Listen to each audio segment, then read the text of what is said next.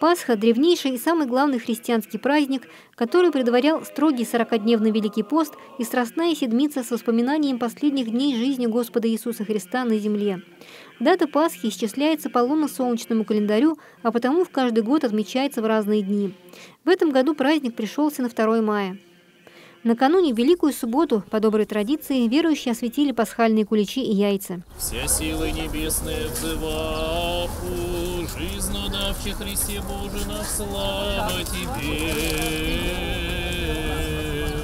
Главные торжества начались в полночь воскресенья. На богослужении в соборе Святой Троицы в Щелкове присутствовал глава городского округа Андрей Булгаков. Во время крестного хода глава города нес особый фонарь, символизирующий светильник ночи во время шествия Жен-Мироносец 2000 лет назад к пустому гробу воскресшего Господа. Богослужение возглавил благочинный церкви Щелковского округа протеерей Андрей Ковальчук. Христос воскресе! Воистину воскресе! Христос воскресе!